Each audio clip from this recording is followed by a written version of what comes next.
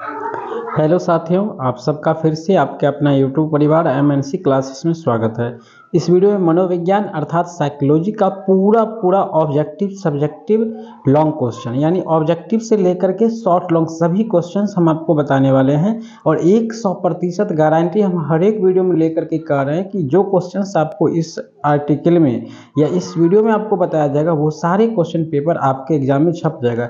किसी भी यूनिवर्सिटी से हैं तो आप इस क्वेश्चन को ज़रूर पढ़िए। ये सभी यूनिवर्सिटी के लिए आपका ये उपलब्ध है, सभी यूनिवर्सिटी में ये प्रश्न पूछा ही जाएगा, सभी यूनिवर्सिटी के लिए। है तो क्वेश्चन को स्टार्ट करेंगे, ज़्यादा समय नहीं लेंगे, हर एक क्वेश्चन को हम समझाते हुए निकलेंगे। तो सबसे पहले परीक्षा में जो आपको क्वेश्चन मिलेगा, वो छपा हुआ क्वेश्चन है ये, छवि किसे कहते हैं? What is impression how is how is it formed यानी ये कह रहा है, छवि का निर्माण कैसे होता है, छवि क्या है? छवि का मतलब सिंपल होता है किसी के बारे में जानकारी लेना। वह व्यक्ति कैसा है, उसके बारे में जानने की जो कोशिश करते हैं, वही आपका छवि कहलाता है। उनको, उसकी मनोवृत्ति, विचार आदि क्या है, ये चीज़ हम पकड़ते हैं। तो इसको आपको ध्यान रखना है, छवि का मतलब ये होता है कि जब हम किसी व्यक्ति के अंदर की बात को देखते हैं, अंदर की छवि को देखते हैं कि इसका व्यवहार कैसा है, मनोवृत्ति कैसा है, विचार कैसा है, उसकी विशेषता क्या है, वह कौन कौन सी चीज़ें अभिप्रेरित करती है आदि। दूसरे शब्दों में हम दूसरे व्यक्ति के बारे में एक विचार या छवि बनाते हैं। यानी दूसरे व्यक्ति के बारे में सोच कर जो आप अपने अंदर छवि बनाते हैं, वही आपका छवि है। यह किसी व्यक्ति को देखने के बाद निर्माण होता है। तो आसानी से आप इसे समझ गए होंगे और समझ करके परीक्षा में आप अपने मन से आंसर बना करके लिख सकते हो। छवि क्या होता है? ठीक है? छवि का निर्माण तभी होता है जब हम किसी व्यक्ति को एकाएक देखते हैं और देखते हैं उस व्यक्ति की छवि, यानी उसके व्यक्ति के बारे में जो काफ़ी विचारे हम मन में उत्पन्न हो जाता है सोचने लगते हैं यही सारी बात आपको लिख देना है, ठीक है? मान लीजिए, सपोज़ आप किसी व्यक्ति को देखते हैं, उसके बारे में आपके मन में क्या क्या उठ रहा है, वही बात आपको लिख देना है और कैसे उठ रहा है, वही छवि का निर्माण करता है, ठीक है? तो उम्मीद है कि इसके बारे में आप आसानी से समझ जाएँगे, पढ़ने के बाद और आसानी से समझ जाएँगे। अगला जो प्रश्न आपके एग्ज़ाम में छप रहा है, वो है आज्ञा पालन का अर्थ क्या है? कौन कौन से तत्व प्रभावित करता है? आज्ञा कारण, पालन का मतलब दो तरह से होता है। आज्ञा पालन एक होता है, ज़बरदस्ती भी होता है और एक होता है कि आज्ञा का पालन करना एक होता है धार्मिक रूप से, आज्ञा का मानना। जैसे शिक्षक के बात को मानना एक आज्ञा पालन हुआ। वही अगर आपको दबाव देकर बना, किया जाता है तो वो आज्ञा पालन दूसरा टाइप का हो जाता है। तो यहाँ पर आपको क्या समझना है? सामाजिक प्रभाव उत्पन्न करने के सबसे सीधा तरीका आदेश देकर है। उसका पालन कराने से होता है। आज्ञा पालन में एक व्यक्ति दूसरे व्यक्ति को किसी आज्ञा के पालन करने का आदेश देता है। जैसे मंत्री अपने विभाग के सचिव को आदेश देता है, जैसे शिक्षक विद्यार्थी को आदेश देते हैं तो ये आदेश हो गया। जैसे कि आप लोग अभी आदेश देंगे कमेंट करके सर, हमको ये चीज़ समझाइए या फिर ये क्वेश्चन बताइए। तो वो आपका आदेश हो जाएगा, ठीक है? तो आदेश के मतलब अगर क्या होता है, वो समझ गए हैं तो आप परीक्षा में आसानी से आंसर बना करके काफ़ी बातें लिख सकते हैं और सब बात आपका सच हो जाएगा, सही हो जाएगा, कहीं से दिक्कत नहीं होगा। अगला जो प्रश्न आपके एग्ज़ाम में छप चुकी है, वो समूह किसे कहते हैं? परीक्षा में जाएँगे, डायरेक्ट आपको ये सब प्रश्न आपको मिल जाएगा 25 सितंबर सेकंड सेमेस्टर परीक्षा जो होने वाला है मिथिला यूनिवर्सिटी में, ये सारे प्रश्न आपको एग्ज़ाम में मिल जाएगा। तो समूह का निर्माण कैसे होता है? सिंपल है, जब पाँच दस व्यक्ति यानी एक, दो तीन, दो से अधिक व्यक्ति जब एक ही जगह, एक ही स्थान पर इकट्ठा हो जाते हैं तो समूह का निर्माण होता है। समूह कई कारणों से निर्माण होता है, समूह का कई उदाहरण हो सकता है, जैसे विद्यालय मीटिंग अंगूर का गुच्छा, ये सब समूह में रहते हैं। तो समूह कैसे निर्माण होता है? तो जो, जब दो से अधिक व्यक्ति एक जगह पर इकट्ठा होते हैं तो वो समूह कहलाते हैं। इसकी विशेषता क्या है? व्यक्तियों के इकट्ठा होना। तो प्रत्येक समूह में व्यक्तियों का इकट्ठा होना आवश्यक होता है। प्रत्येक समूह को निर्मित होने के लिए दो या दो से अधिक व्यक्तियों की आवश्यकता होती है। कभी भी समूह अकेला में नहीं बना जा सकता है। एक से अधिक दो से अधिक जब विद्यार्थी या फिर दो से अधिक लोग रहते हैं, तभी जाके एक समूह का निर्माण होता है। पारस्परिक संबंध, अब संबंध हो सकता है रिलेशनशिप होता है तो रिश्तेदार सब जब एक जगह हो जाते हैं तो वो पारस्परिक संबंध हो जाता है, रिश्तेदारों का समूह हो जाता है। कहीं कहीं पे विद्यार्थियों का समूह होता है, दोस्तों का समूह होता है तो समूह जो है कई तरह से निर्माण होता है। आगे जो प्रश्न आपके एग्ज़ाम में 100 प्रतिशत छप चुकी है, वो छप चुकी है, समाज मनोविज्ञान की परिभाषा दीजिए। सिंपल बात है, समाज मनोविज्ञान क्या है? सिंपल है, समाज का मनोविज्ञान क्या है? तो सामाजिक मनोविज्ञान को समझने के लिए कई वैज्ञानिकों का कई तरह का बात मानना है, कई तरह का परिभाषा दिए हैं, जो आप यहाँ से पढ़ सकते हैं। इसका पीडीएफ हम तैयार कर चुके हैं, नोट्स तैयार कर चुके हैं, आपको कैसे लेना है, आगे हम पूरी जानकारी देंगे। तो वीडियो को लाइक कर लीजिएगा, चैनल को सब्सक्राइब कर लीजिएगा, परीक्षा के दिन भी हम आपको बहुत कुछ देने वाले हैं। तो मनोविज्ञान वह शाखा है जिसमें व्यक्ति के सामाजिक व्यवहार का अध्ययन किया जाता है। मनो, समाज मनोविज्ञान में सामाजिक व्यवहार का अध्ययन किया जाता है, उसे समाज मनोविज्ञान कहते हैं। यहाँ व्यक्ति को समाज की एक इकाई मानकर उसके व्यवहार का अध्ययन होता है। इसकी परिभाषा कई वैज्ञानिकों के अनुसार कई ढंग से दिया जा सकता है, जो कि यहाँ पर दिया गया है। जैसे कि रॉस महोदय का मानना है कि समाज मनोविज्ञान का ज्ञान का वह शाखा मानी है, जिसमें व्यक्ति तथा उसके परिवेश से उत्पन्न अंतर क्रिया का अध्ययन होता है। तो सभी का अपना मानना मानना बात है। आपको इसमें से दो तीन वैज्ञानिक का नाम और डिफिनेशन याद कर लेना है परीक्षा से पहले। अगला जो प्रश्न आपके एग्ज़ाम में छप रही है, समाज मनोविज्ञान का अध्ययन पद्धतियों की विवेचना करे। थे इन बातों को आपको पॉइंट को ध्यान रखना है। हालाँकि ये कुछ हार्ड क्वेश्चन आप लोग को लग रहा होगा, लेकिन हार्ड क्वेश्चन है नहीं। समाज मनोविज्ञान का अध्ययन पद्धतियों, यानी समाज मनोविज्ञान को पढ़ने के लिए कौन कौन से पद्धति को कौन कौन से सिद्धांत को अपना सकते हैं?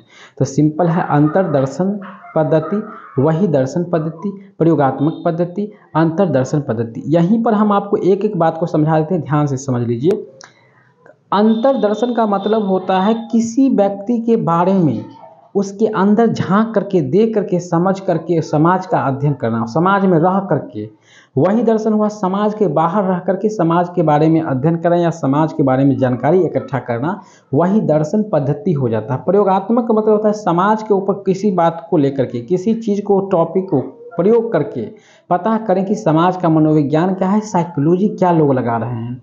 तो इस तरह से आप इसके बारे में पता कर सकते हैं। मुख्यतः तीन तरह का होता है, ठीक है?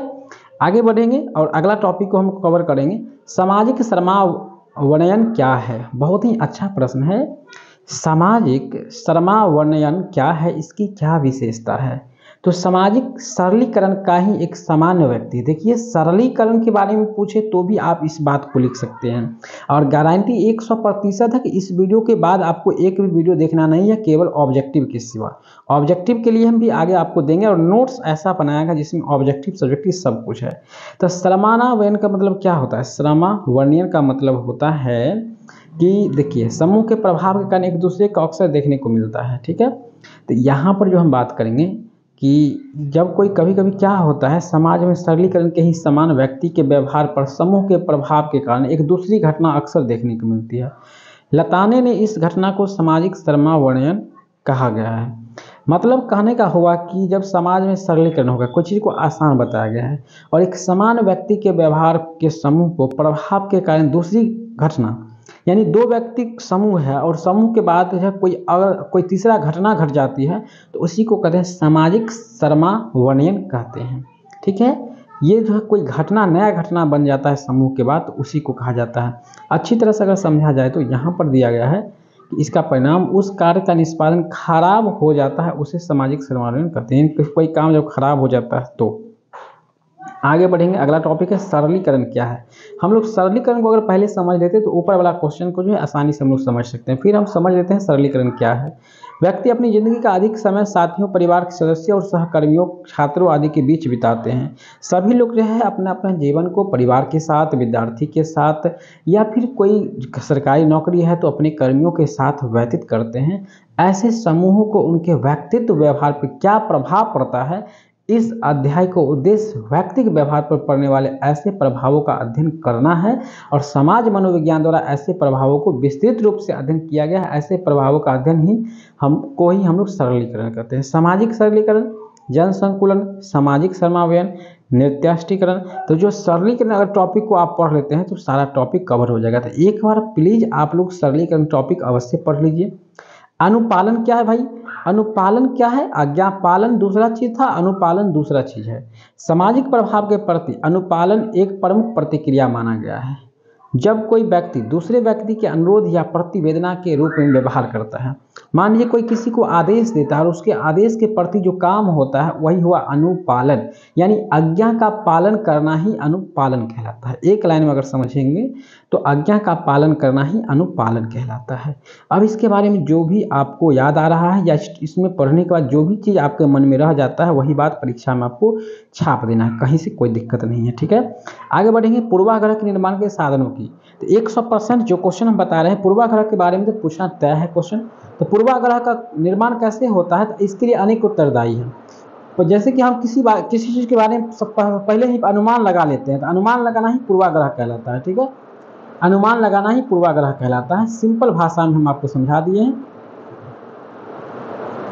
ठीक है, इस तरह से हम बता दें। मनोवृत्ति किससे कहते हैं? एक सौ परसेंट आपको पूछा गया है क्वेश्चन पहला प्रश्न जो है आपके एग्ज़ाम में क्वेश्चन पेपर में मनोवृत्ति किससे कहते हैं? यही प्रश्न है। तो इसको तो आपको याद कर लेना अभिवृत्ति के अर्थ को स्पष्ट करने के लिए श्री जेम्स ड्रॉवर ने इन शब्दों में परिभाषित प्रस्तुत की है। अभिवृत्ति मत, रुचि अथवा उद्देश्य का एक लगभग अस्थायी तपस्या या प्रवृत्ति है, जिसमें एक विशेष प्रकार के अनुभव की आशा और एक उचित प्रतिक्रिया की तैयारी निहित होती है। प्रस्तुत कथन में कहा गया है कि अभिवृत्ति वास्तव में प्रवृत्ति होती है, जिसके अनुसार व्यक्ति व्यवहार करता है। तो मनोवृत्ति का अर्थ आप लोग समझिएगा, किसी की मन की बात, मन में क्या चल रहा है, किसी के प्रति क्या रुचि है, क्या मत है, क्या विचार है, वही उसकी मनोवृत्ति होती है।